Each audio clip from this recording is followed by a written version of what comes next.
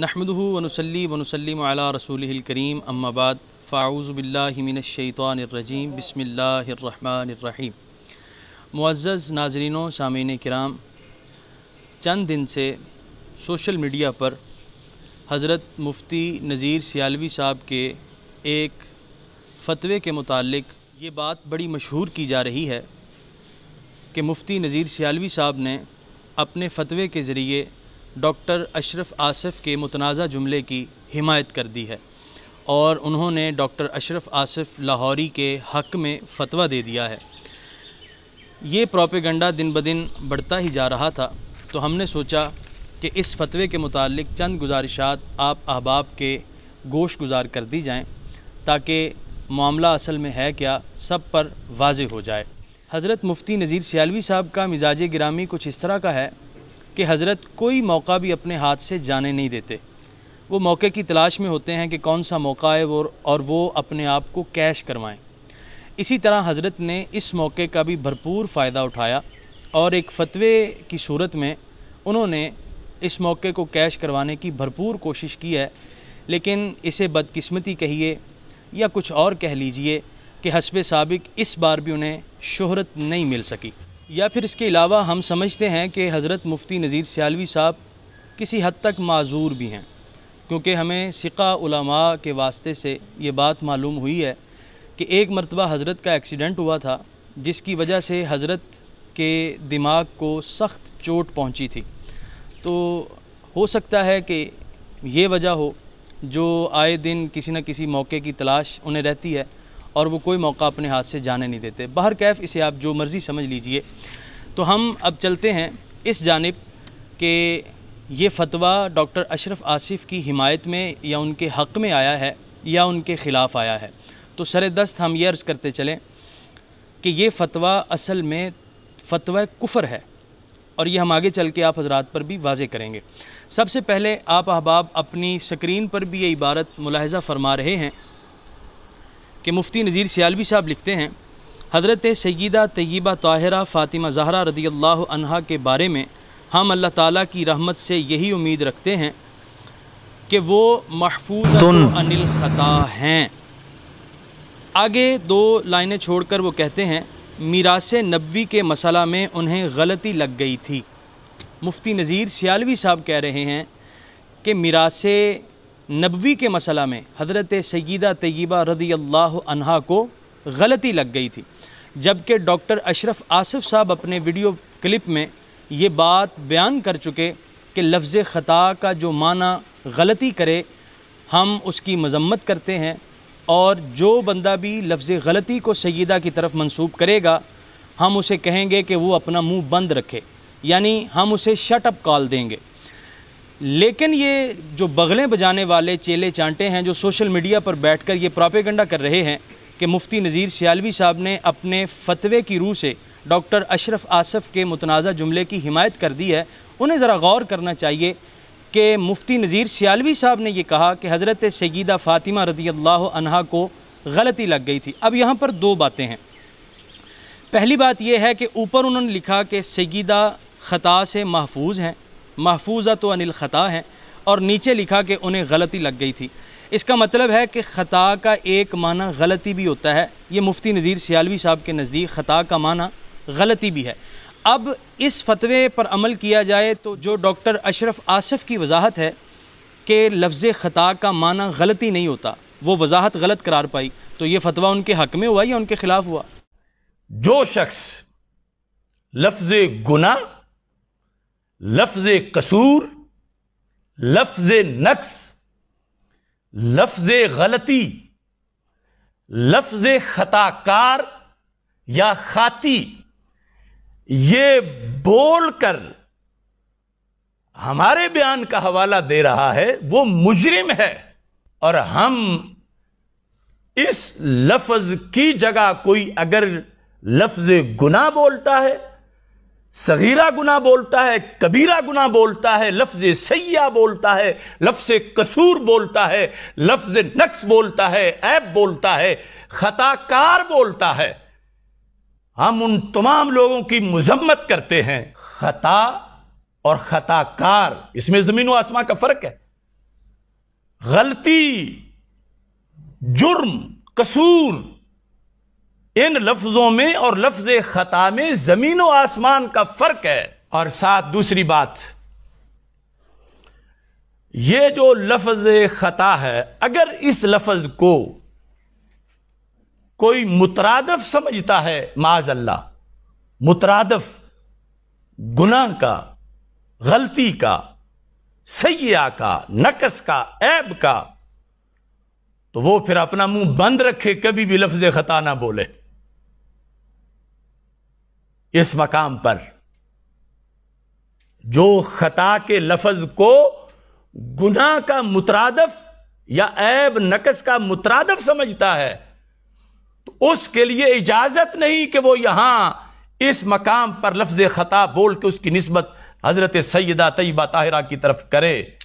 फिर दूसरा रुख इसका यह है कि डॉक्टर अशरफ आसफ साहब ये कह रहे हैं कि हम उसकी मजम्मत करेंगे जो लफ्ज़ ख़ता का माना गलती बयान करे और हम उसे कहेंगे कि वो अपना मुँह बंद रखे। तो डॉक्टर अशरफ आसफ के इस बयान के मुताबिक तो वो मुफ्ती नज़ीर सियालवी साहब को शटअप कॉल दे रहे हैं। तो ये कहाँ की हिमायत हुई और ये फतवा उनके हक़ में कैसे हुआ? ये बात तो इस बात पर तो दोनों एक दूसरे के मुखालिफ हैं। तो ये इनमें से कौन सही है और कौन गलत है, इस बात का फ़ैसला तो अवामनास करेंगे। लेकिन ये प्रोपेगंडा करना कि मुफ्ती नज़ीर सियालवी साहब ने अपने फतवे से डॉक्टर अशरफ आसफ़ के मुतनाज़ जुमले की हिमायत कर दी है। ये सरासर धोखा दही है और निरा प्रोपेगंडा है। तो आवाम को चाहिए कि इस किस्म के प्रोपेगंडे में ना आएँ। फिर देखें दूसरी बात।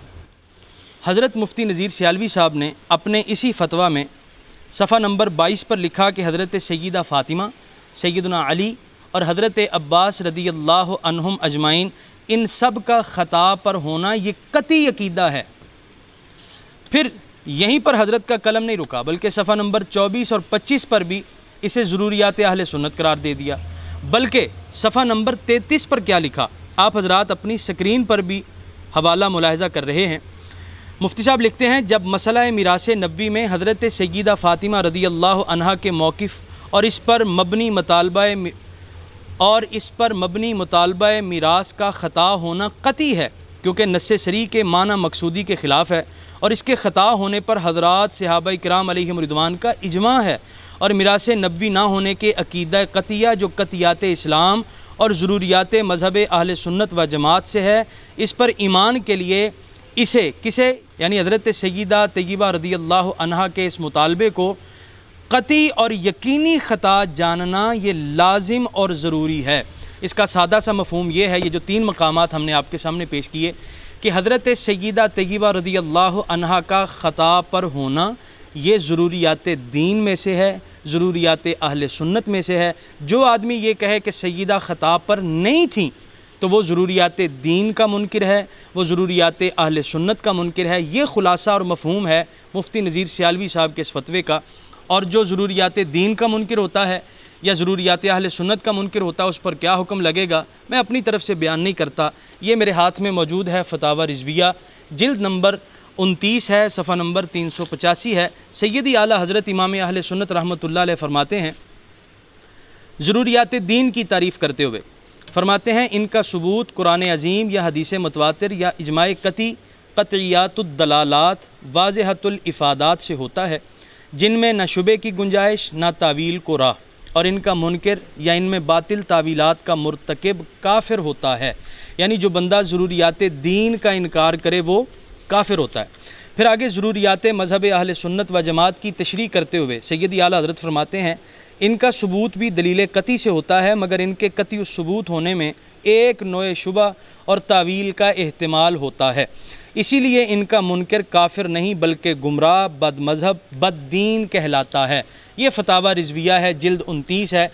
यानी सैदी आला हज़रत फरमाते हैं, जो बंदा ज़रूरियात दीन का इनकार करे, वो काफिर। जो ज़रूरियात अहल सुन्नत का इनकार करे, वो गुमराह है बद मज़हब है, वो सुन्नी नहीं है।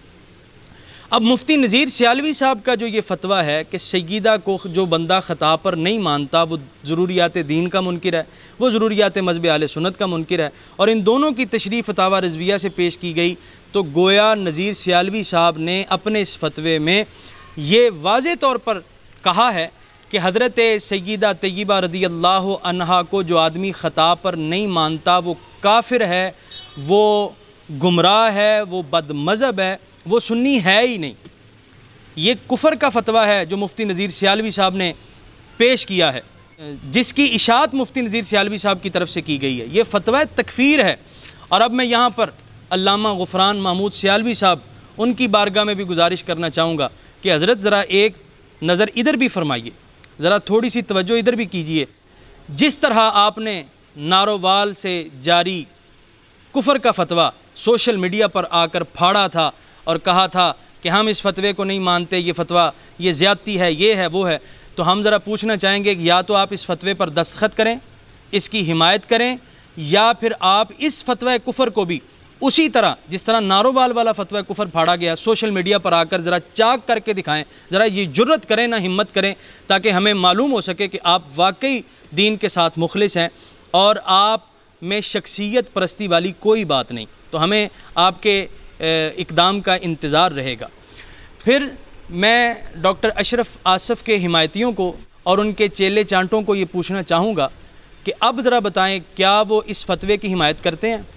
हालाँकि इस फतवे की जद में ख़ुद डॉक्टर अशरफ आसिफ आ रहा है, क्योंकि उसने भी अपने एक वीडियो बयान में ये वाज तौर पर कहा कि फ़दक का मामला हो या कोई भी मामला हो, हम ये कहेंगे कि सैदा की तरफ़ ख़ता की नस्बत जायज़ ही नहीं, ख़ताए इजतहादी की नस्बत भी जायज़ नहीं।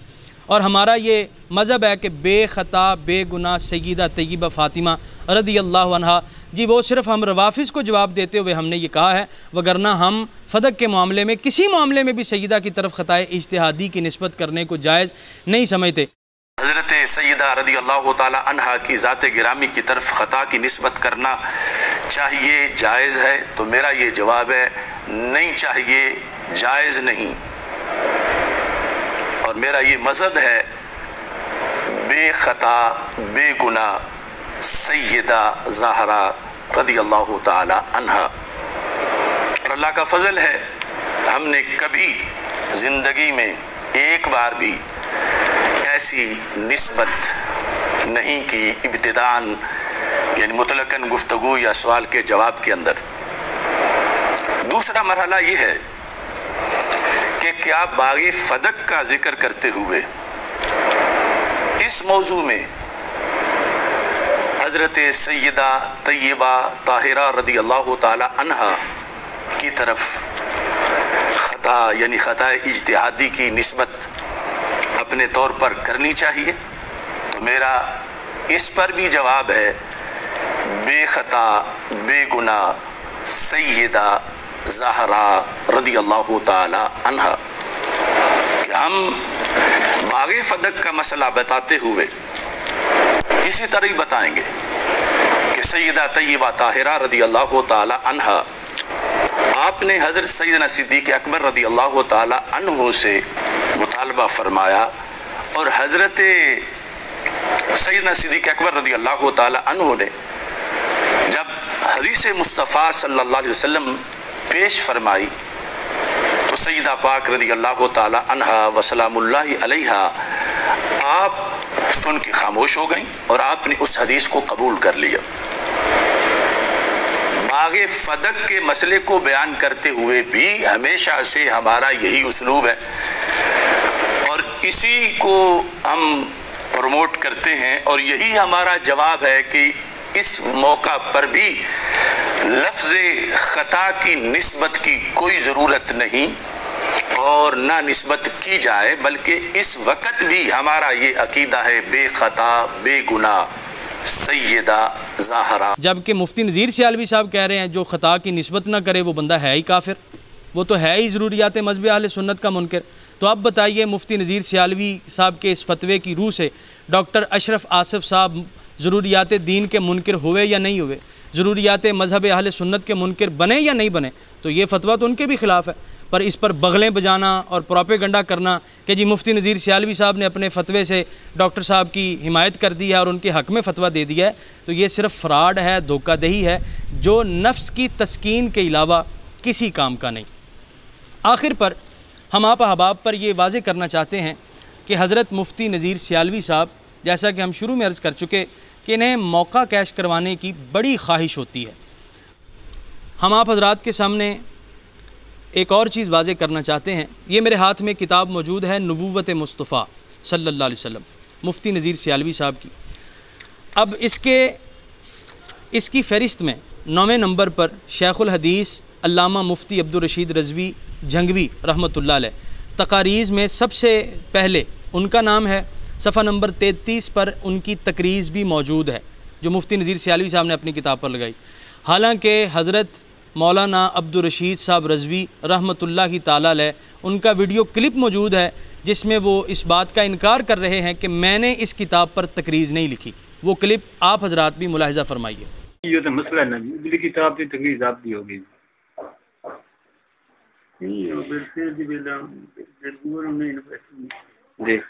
हजूर फरमान उस कोई ही है ना कि आप चालीस साल पहले बिलफिल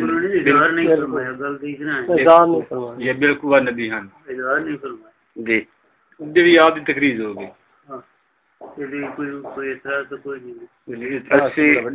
गुजारिश करने मकसद है दो मुतजाद किताबा ने ना एक किताब लिखी गई है फिर राधे लिखी गई है। ਕਿਤਾਬ ਲਿਖੀ ਗਈ ਹੈ ਫਿਰ ਉਹਦੇ ਰਾਦੇ ਦੀ ਲਿਖੀ ਗਈ ਹੈ ਆਪ ਦੇ ਜਿਹੜੀ ਤਕਰੀਰਾਂ ਨੇ ਉਹ ਦੋਵੇਂ ਕਿਤਾਬਾਂ ਤੇ ਮੌਜੂਦ ਹੋ ਗਈਆਂ ਨੇ ਇਸ ਤੇ ਪਹਿਲੇ ਲਿਖੀ ਗਈ ਹੈ ਤੇ ਉਸ ਤੇ ਵੀ ਆ ਗਈਆਂ ਸਾਡੇ ਗੁਜ਼ਾਰਿਸ਼ ਕਰਨ ਦਾ ਮਕਸਦ ਇਹ ਵੀ ਆਪ ਦੇ प्रोफेसर साहब शायद उससे लिखाई तकरीर आपको तेरे को फिर उसके लिए उन्होंने लिखा ही है नहीं यही किस लिख के लाए मैं मैं तो रास्ता ठीक कर तहरीर आपने नहीं पढ़ाई गई तहरीर तो आप मेरा ख्याल कोई नहीं पढ़ी होगी सिर्फ दस्तखत करवाएगा तो नाजरीन कराम, आपने देख लिया कि ये हज़रत साहब अपनी शहरत के लिए और अपनी वाह वाह के लिए किस हद तक गए हैं। इसका एक और सबूत देखिए। यहाँ पंद्रहवें नंबर पर, सफ़ा नंबर इक्यावन पर अल्लामा मुफ्ती शहबाज अली कादरी साहब की तकरीज़ भी मौजूद है, जो कि नूरिया रिजविया बगदादी मस्जिद जो फैसलाबाद में है, वहाँ के मुफ्ती हैं। उनकी तकरीज़ भी यहाँ पर मौजूद है।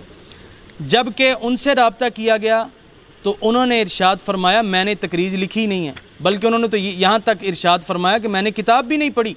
और ना सिर्फ़ तकरीज़ का इनकार किया, बल्कि साथ में ये भी इरशाद फरमाया कि मुफ्ती नज़ीर सियालवी साहब में लिल्लाहियत नहीं है, इनमें अखलास नहीं है। ये बस अपने नंबर बनाने के चक्कर में होते हैं और अपनी चुदराहट बनाने के चक्कर में होते हैं। मज़ीद मुफ्ती शबाज साहब ने क्या कहा? ये वीडियो क्लिप ज़रा आप भी मुलाहजा फरमाइए। जबकि तुमने भी यही कहा है कि वो बादशाह से बदल की कर उसे तो इस तरह ख़त्म नहीं होगा? झगड़ा ख़त्म हो जाएगा। झगड़ा ख़त्म हो जाएगा लेकिन ये बात मानेंगे नहीं वो। क्योंकि गोया कि इन्होंने मानना तो पड़ेगा किताब उन्होंने खुद लिखी है। लेकिन असल में तईद सईद असर साहब की हो रही है। तो नज़ीर सियालवी साहब नहीं मानेंगे? हाँ। हाँ वो कह रहे हैं इनके कहने का मकसद ये है कि जो नजीर सियाली साहब ने लिखा है ना ये सईद से साहब के मौकफ की तईद हो रही है। हो रही है नजीर सियाली साहब ने लिख तो दिया लेकिन वो मानेंगे नहीं। मानेंगे नहीं। ये कह रहे हैं मुफ्ती साहब। लिल्लाहियत और ये वो मामला तो फिर इखलास नहीं है ना? सिर्फ़ एक बस मतलब है कि अपने नंबर और ये मौजूद रहा ये बात है ना ये बात है ये बड़ी ज़बरदस्त है। सईद असद के फेवर में जाती है इसीलिए वो इस पर ज़ोर दे रहे हैं। साहब। जी। नज़ीर साहब को नज़ीर साहब ने इसी पर सारी किताब लिखी है ना? जी इसी के में नबी थे, बचपन में भी नबी बचपन में भी बिल्कुल लेकिन आखिर में कह दिया आकर ये ऐसी गलती की है कि जिससे वो मतलब है। तो लिख नहीं लेकिन हमने जुमला ही नहीं पढ़ा। पढ़ा ही नहीं जुमला। ओहो। सदाकत शाह साहब मेरे से मेरे तरफ़ से देख कर उन्होंने मतलब हाँ जी? मेरी तरफ़ से खुद ही तकलीफ़ देख कर उन्होंने मतलब दे दी। अच्छा। तो मेरा नाम तो शुरू में है हाँ जी इब्तदा में है जी। वो इसीलिए आपके पास आए अच्छा आपने लिखी नहीं? बस वो अच्छा, यानी उन्होंने- को होता है कि चलो कह दो कर अच्छा लेकिन असल तकरीर तो वो होती है कि एक एक लफ्ज पढ़ के बंदा बंदा खुद लिखे। तो नाजरीन किराम मुफ्ती नज़ीर सियालवी साहब का ये फतवा किस हद तक डॉक्टर अशरफ आसिफ की हिमायत में है? और किस तरह ये बाकी उलमाए किराम की सादात की तकफ़ीर कर रहा है, ये हमने आप हजरात के सामने अजहर में शम्स कर दिया। और हज़रत मुफ्ती नज़ीर सियालवी साहब ने ये जो दो फ़्राड शरीफ किए हैं इन दो फ़्राडों को भी हमने आप हजरात के सामने बिल्कुल ज़ाहिर कर दिया है। इसके अलावा भी और बहुत कुछ है, लेकिन इस वक्त के लिए इतना ही। वमा अलैया इल्लल बलाग।